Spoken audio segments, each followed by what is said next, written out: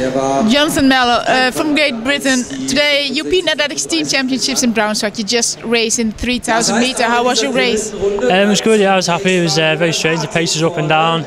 Um, people kept on accelerating and then backing off. So it was uh, it was a tough race, but really fun. Good good crowd. What what were your expectations coming here? Um, I wanted to try and get in the medals. To be honest, um, I know I'm in good shape, and I just wanted to try and run close to PB and get in the medals if possible. So yeah, I'm, I'm fairly happy. Lead us through the last two laps? Yeah, um, I think. Um, I think the Turkish guy sort of backed off the pace a little bit, and then there was a bit of a burst of pace, and then I noticed the uh, Jacob come past from, uh, and I thought he was going to wind up for a big finish then, so I thought I had to get going. Then I think it was about 600 to go, just try and force the pace along, so it didn't come down to the last lap, and then last lap was just everyone going for it.